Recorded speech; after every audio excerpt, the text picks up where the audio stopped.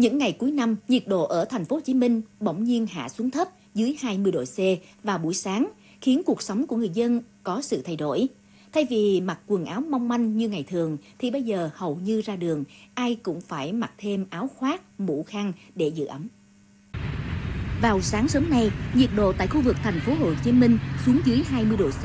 Người dân khi ra đường đều phải trang bị khăn áo khoác để giữ ấm. Đặc biệt là những người luôn phải di chuyển trên đường bằng xe gắn máy. Nhịp sống hàng ngày cũng diễn ra chậm rãi hơn so với các ngày thường trong năm. Năm à, rưỡi mà cô thấy lạnh quá phải ngủ lại à, 15 phút. Mới giờ này mới ra mà kéo dài chưa xong. Năm nay coi như thời tiết lạnh hơn năm à, vừa rồi đó.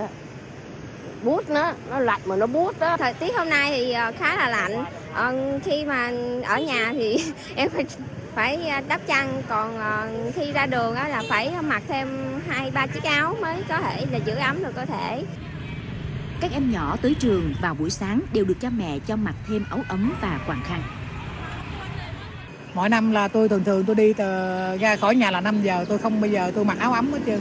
Mà năm nay tôi phải mặc áo ấm. Và con tôi phải dùng áo ấm thêm. Người dân Sài Gòn vốn đã quen với thời tiết nắng nóng.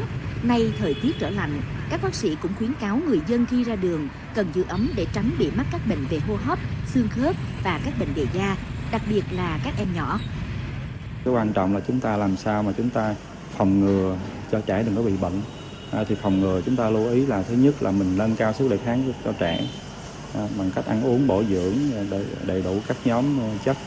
À, cái thứ hai là chúng ta không nên sử dụng máy lạnh nhiều quá. À, tại thời tiết lạnh là trẻ đã bị dễ cảm nhiễm cảm cúm rồi mà chúng ta nằm máy lạnh thì em bé dễ bị cảm lạnh cảm cúm theo.